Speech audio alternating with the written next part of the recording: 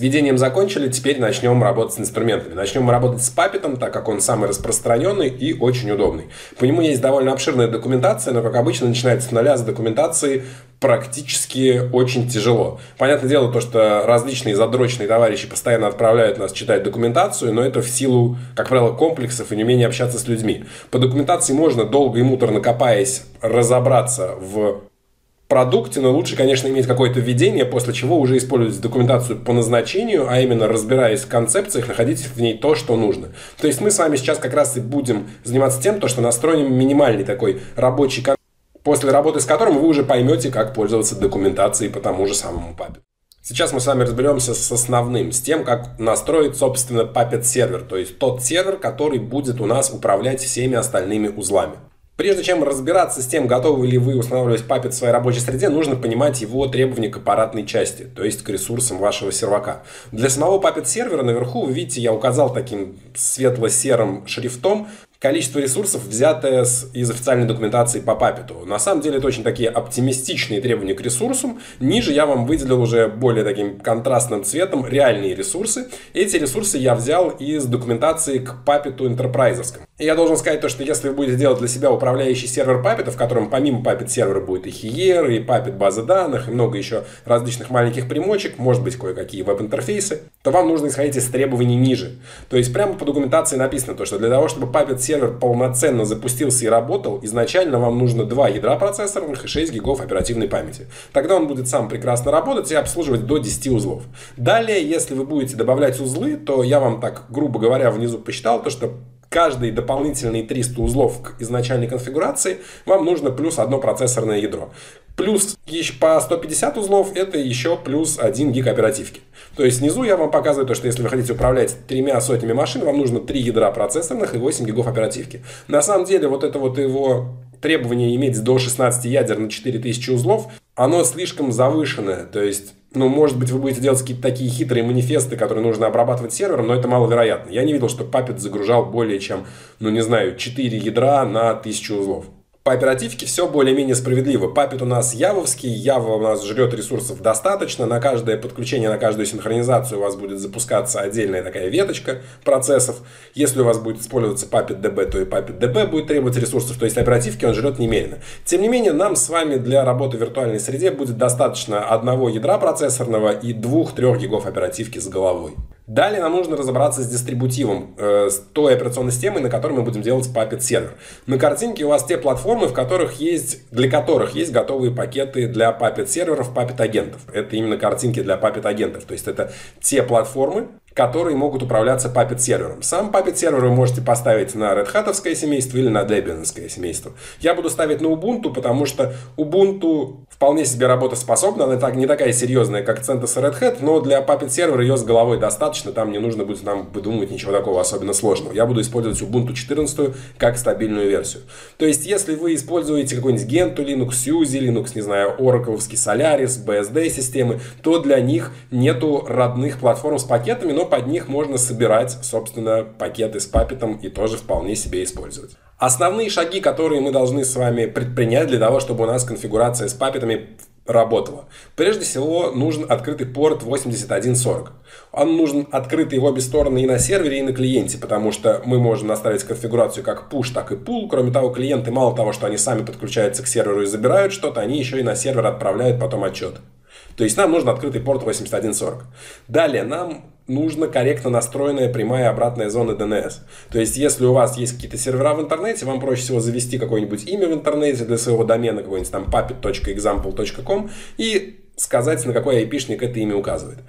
В принципе, если у вас нет каких-то доменных имен, можно не заморачиваться и просто в хосты на конечных устройствах в ETC хост прописать айпишник нужного вам сервера. Мы так в нашей лабораторной среде и сделаем. И самое важное, это на всех системах у вас должно быть одинаковое время. Проще всего, если это время будет точное. Тогда вам нужно будет синхронизировать эти системы не с сервером, а с точным временем в интернете.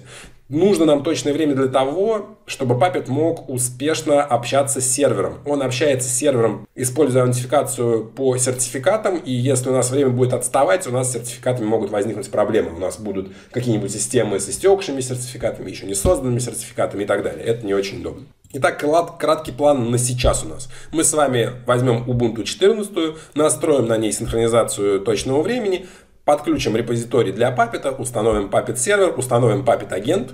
Ну, правда, у нас Puppet агент станет вместе с Puppet сервером по умолчанию сразу. И запустим синхронизацию агента с сервером в пределах нашего этого одного сервера.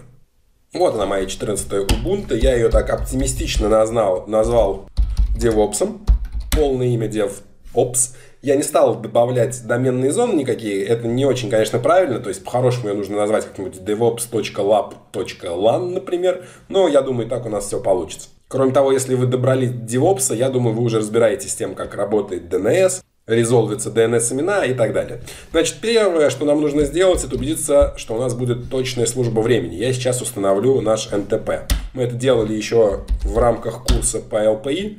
Если кто не знает, что такое НТП, сразу идите и смотрите курс по LPIC. Первые и вторые ступени.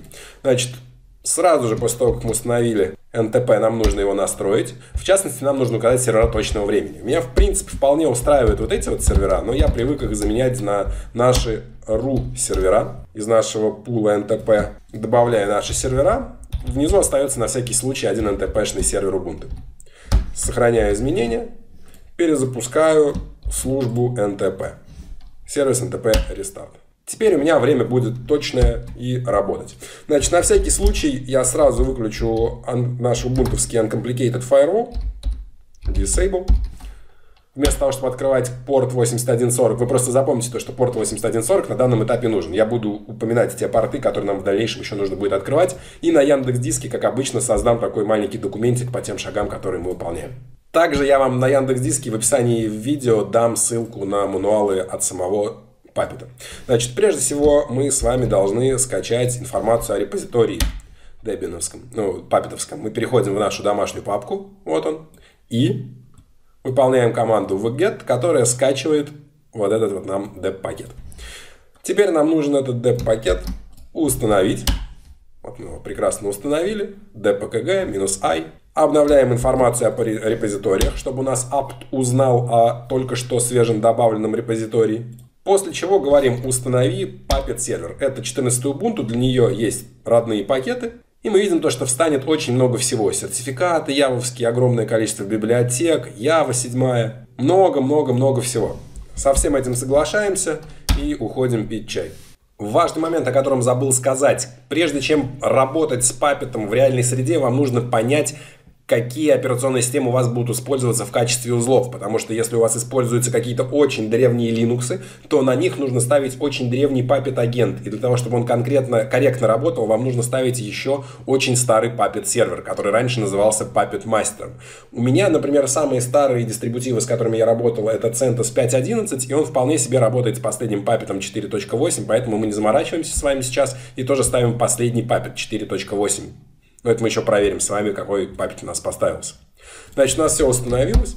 Посмотрим с вами настройки самого процесса Puppet сервера, которые лежат в файле etc default Puppet сервер. Опять же, если у вас какой-то древний Puppet, тогда у вас это все может лежать в другом месте, где-нибудь в Opt, Puppet Labs и так далее. Если у вас, опять же, древний Puppet сервер, он будет называться Puppet Master. Мы исходим из того, что у нас все последнее, и вы делаете точно так же, как и я. Тут много значений, нас на данном этапе интересуют только вот эти вот аргументы Явы, потому что Puppet Server, я вам уже говорил, запускается как явовское приложение. Значит, у нас здесь есть XMS параметр и XMX. XMS это сколько оперативки ему съедать при старте и до какого количества ее можно увеличивать съедаемую оперативку. В документации к папету сказано, что лучше использовать здесь одинаковые параметры, чтобы он у нас стартовал и все время использовал сразу столько оперативки, сколько ему нужно. Вот этот вот max perm size – это количество памяти, в которой хранятся какие-то явовские классы. Я не Java программист, я вам не скажу, поэтому можно вот эти вот 256 мегабайт оставить по умолчанию, а здесь исходить из тех параметров, которые вы рассчитали для вашего количества узлов. Я оставлю здесь по умолчанию 2 гигабайта, мне их вполне достаточно. Поэтому я выйду отсюда без сохранения изменений. Вы можете здесь что-то изменить под себя. Это очень важные параметры, потому что исходя из них он будет, собственно, все съедать. Далее нам нужно настроить конфигурационный файл самого Puppet. Это был конфигурационный файл до этого и процесса явовского Puppet сервера, теперь конфигурационный файл самого Puppet. Здесь у нас есть секция мастер, которая отвечает, собственно, за настройки Puppet сервера. Опять же, раньше он назывался Puppet Master, поэтому и секция, я думаю, называется мастер. Мы ее не трогаем. Мы здесь добавляем информацию только об агенте. В информации об агенте мы добавляем имя сертификата для данной нашей машины. Эта машина у нас DevOps называется, я вам вначале показал. И я говорю этой машине DevOps, то, что сервер, с которым она будет связываться, это тоже DevOps. То есть имя сервера DevOps. В дальнейшем, когда мы будем подключать какие-то узлы, мы здесь можем указывать имя сертификата, а здесь в качестве сервера будем точно так же указывать DevOps. Сохраняю изменения. Да, конечно, я же начал редактировать этот файл не с правами суперпользователя, поэтому я не могу сразу сохранить изменения. Escape ZZ сохранил изменения. Давайте, прежде чем запускать нам Puppet Master, я вам покажу, что он у нас Сейчас мой сервер ест 795 мегабайт оперативной памяти. После того, как мы запустим наш Puppet, несмотря на то, что мы указали ему, чтобы он при старте съел сразу 2 гига, он эти 2 гига сразу есть не будет. Не знаю почему, я опять же не Java программист, поэтому я говорю ему сейчас супервизор do, сервис, у нас установлен уже Puppet сервер, запусти сервис, службу Puppet сервера. Стартует она у меня в данном случае где-то больше минуты. Снова проверяем количество свободной оперативной памяти и видим то, что сразу почти гиг съелся. Мы сейчас запустили только Puppet сервер, и вот он этот гиг оперативки, собственно, сожрал. Теперь нам нужно этот Puppet сервер поставить в автозагрузку. Мы можем это сделать стандартными средствами нашего, нашей операционной системы, но так как мы с вами уже установили Puppet, мы можем воспользоваться его командой. Это такая простенькая команда, я вам ее расшифрую. Опять же, права суперпользователя, путь к Puppet. Дальше его команда ресурс, которая будет говорить то, что служба, Puppet сервер – должна быть у нас включена и поставлена в автозапуск. То есть я мог предыдущий шаг, вот этот вот Puppet Server Start не делать, а сразу выполнить эту команду, потому что вот этим шагом ensure running она бы ее запустила. Сейчас она просто ее поставит в автозапуск. И вот он говорит, то что enabled у нас изменился с false to true. Если бы она была не запущена, то она, соответственно, и статус бы поменяла из stopped to running. Puppet сервер запущен у нас, стоит в автозапуске. Теперь нам нужно установить Puppet агент. Я выполню эту команду, конечно, apt-get install Puppet agent, но он у нас установился вместе с Puppet сервером, поэтому нам сейчас этого делать не нужно. Опять же, точно такая же команда для того, чтобы Puppet агент у нас с вами был запущен и поставлен в автозапуск. Puppet, команда ресурс, ресурс служба, служба Puppet, чтобы она была запущена и чтобы она была в автозапуске. Нажимаю. И вот он нам показывает то, что он изменил состояние остановленной службы на службу запущена. В автозапуск он ее поставил сам при установке. И последние буквально несколько шагов. Опять же, мы с вами все время будем ходить к вот этому вот исполняемому файлу Puppet. И сейчас мы с вами можем посмотреть сертификаты, которые у нас есть. У нас с вами сейчас нет никаких сертификатов. Тут обычно этой командой Puppet Cert List мы можем видеть запрашиваемые подтверждение сертификата, то есть если какие-то машины к нам постучались, мы здесь должны увидеть их сертификаты, одобрить их или отклонить. Сейчас у нас нет никаких машин, кроме той машины, на которой мы с вами работаем. Поэтому я могу показать еще ключ All, покажи все сертификаты. И мы увидим с вами сертификат этой нашей машины с именем DevOps. Вот он, этот сертификат, он уже у меня с плюсиком подписан и допущен. Последнее, что я сделаю, это запущу Puppet агент, который синхронизируется с моим Puppet сервером. Нам нечего вообще еще синхронизировать, но вывод нам покажет, что у нас все в порядке. Я запускаю опять же тот же самый Puppet, Puppet Agent с ключом тест. Тест у нас проверяет связь с сервером и выполняет все, что было нужно. Зелененький, зелененький вывод говорит о том, что у нас все получилось. Мы используем с вами сейчас по умолчанию Puppet агент использует environment, как сказать, среду, не знаю, production, то есть он настроен на использование в прод, в прод среде. Он скачал все, что нужно сервера и применил каталог вот за одну сотую секунды. Довольно бегло мы сейчас с вами пробежали по установке Puppet сервера. Казалось бы, это все довольно просто делается, но я вам это сделал как иллюстрацию к тому мануалу, который буду выкладывать на Яндекс, чтобы вам было с чего стартовать, и вы могли сюда обращаться в каком-то случае. Мы с вами установили Puppet сервер, с ним вместе установился Puppet агент, и Puppet агент синхронизировался с Puppet сервером только что. В следующем видео мы подключим к нашему Puppet серверу какой-нибудь CentOS и какую-нибудь другую Ubuntu.